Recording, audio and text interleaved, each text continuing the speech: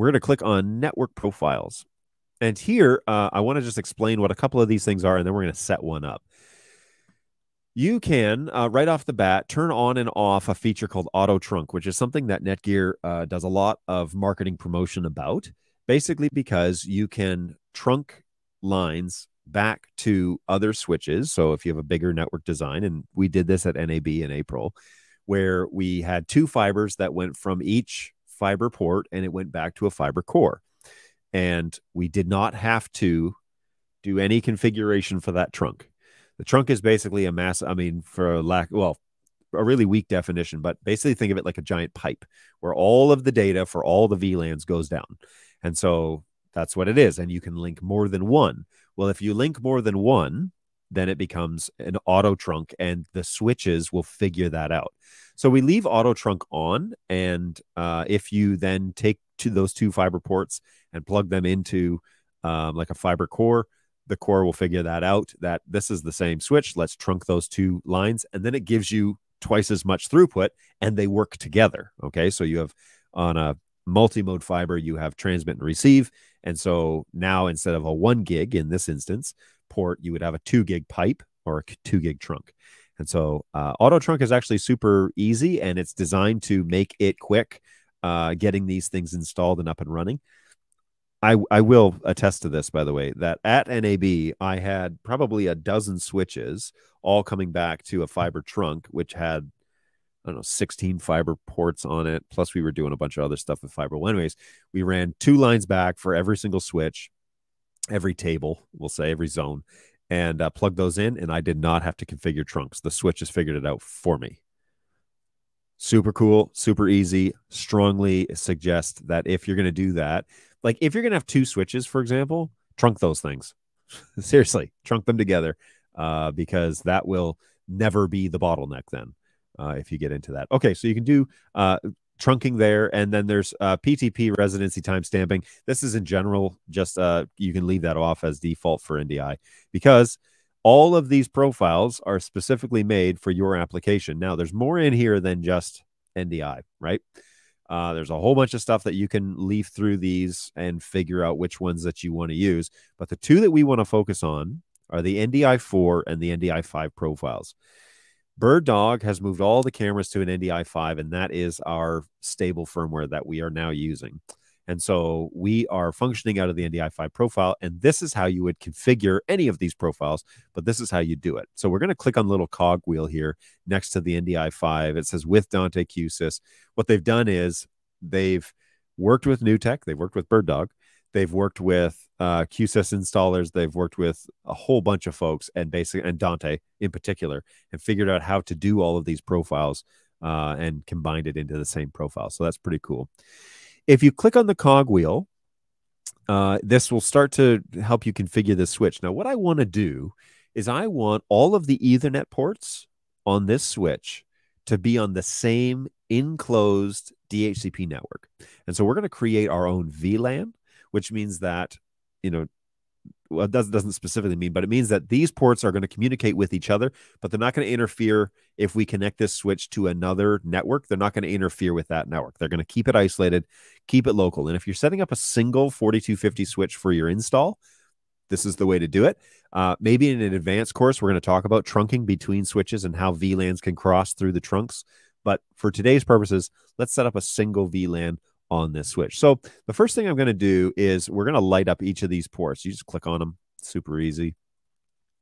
And uh, we have 10 Ethernet ports on this switch, and two of them, 9 and 10, are non PoE. So these ports are great for non PoE devices. Let's say we have a camera that's plugged in with DC power. Maybe we got a computer. Maybe we got a computer with two NIC cards uh, you can plug them both into 9 and 10 and not take up any ports that require PoE. So these switches, this is like an entry level switch with uh, with Netgear. They get you can you can pay whatever you want for more sophisticated stuff, uh, but this this guy right here is one of their their lower levels and uh, works really well. So here we go. We're gonna light up each of these ports uh, with the green check mark, and then I'm gonna say uh, this is my NDI network. Okay, I'm gonna call my profile name NDI network because uh, this will be my install switch. VLAN ID. Now, if you're doing multiple profiles on switches, especially across multiple switches, this will be really important. But here we can pick an arbitrary number, uh, number other than one. Okay, don't pick one. But uh, a lot of guys, a lot of networking guys like to work in increments of 10. So they do VLAN 10, 20, 30, 40, and then they know VLAN 20 is Dante, VLAN 10 is NDI, VLAN across the entire network. So in this instance, let's go with 10 because I think that that's a that's an appropriate number. This is a customized thing just in Netgear. This color means nothing other than just here on this interface. So pick a color, pick your favorite color, or pick a color that you are going to use consistently across your entire fleet. Okay, that's the basic setup. Now, let's talk about the routing and the DHCP stuff. We're going to flip this switch and turn it green, and it's going to say your VLAN IP settings. So this is the base of the VLAN, okay? The very, um, well, for again, a lack of a better term, how you would, for example, contact this switch on this VLAN, okay? So this VLAN is going to have its own DHCP. It's going to have two more than 200 IP addresses. How do we get back to this switch if we're on this network? Okay, so there's a couple of philosophies here. Uh, some people like to use IP address, the last IP address in the pool, which is 254, and some people like to use the first IP address in the pool. If you have a group of switches inside your network, I suggest that you plan to use specific IP addresses that are in sequence. Okay. So use one through 10 or use 200 to 254 or whatever you're going to do.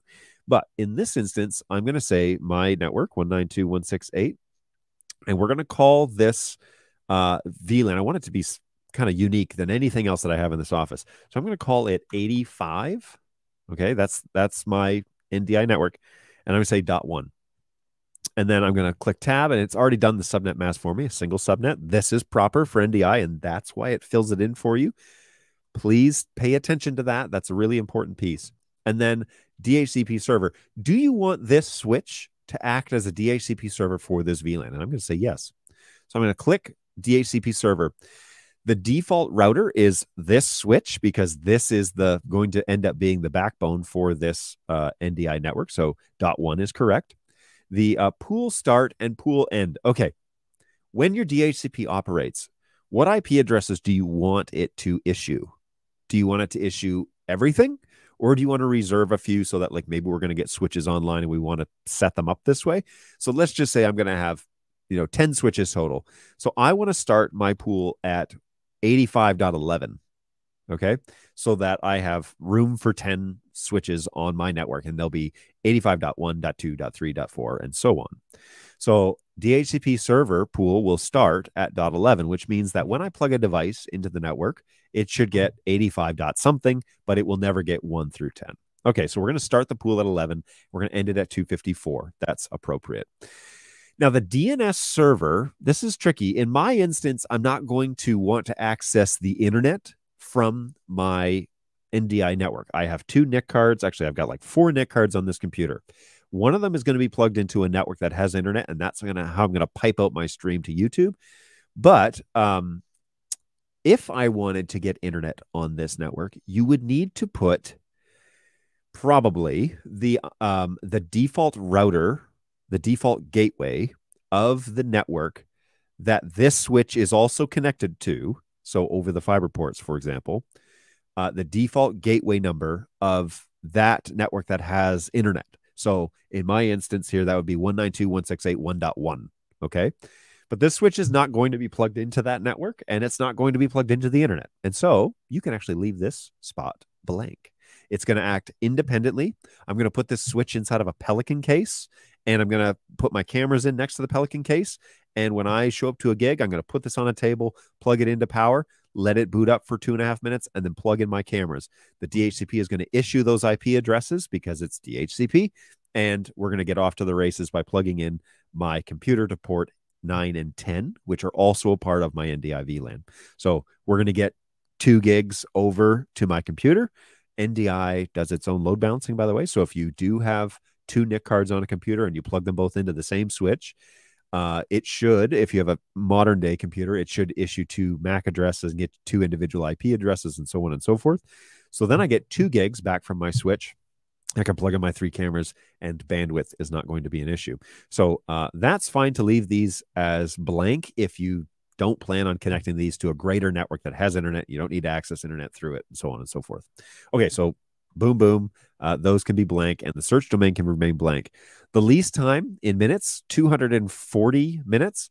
Uh, a lot of guys change this to like one day because you know they're going to set up today and they just don't want it to change off in a few hours, and so they'll change this to to one day and and and what is that? So, uh, 24 hours times 60, that is uh 1440. So you could change that lease time to 1440 if you wanted to, uh, and that would be fine.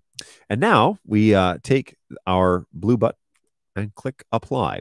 We really recommend that you set up DHCP servers. Yeah, I know, but uh, I've already explained why we're not doing that, and so there we go. Okay. We want to be sure that this shows success, success, and does that. Okay. And then we want to roll up here. And just to be safe, I'm going to click save. All right. You have noticed now that there are green ports on my dashboard that show that they are they belong to VLAN 10, which is the NDI 5 profile. And uh, if I plug something into there, I should get a um, 85 address. So 192.168.85 dot something address. And we can actually test that now. Uh, uh, here's here is the moment of truth, everybody, because I do have a uh, a trusty dusty studio which still works, and I've got a camera. Now the camera doesn't show an IP address, but the studio will. So let's go ahead and plug that in and see if I get an 85 address.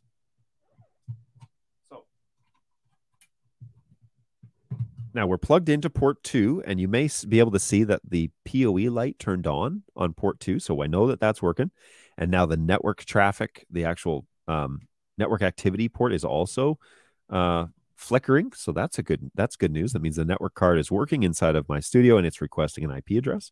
So now we're going to wait and see if my startup changes and gives me an IP address that's in the 85 range. And if it does, then we know that we're good to go with TCP. Now, by default, right, all the BirdDog products are running in TCP.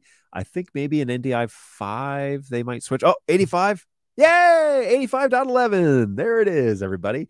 So, uh, good news. That worked. And uh, we're good to go there. So now we can go back to our, our web UI. That's pretty exciting stuff. And uh, let's go ahead and refresh this page because it's a web UI. Remember that, right? So it's a web UI, so it doesn't live update all the time.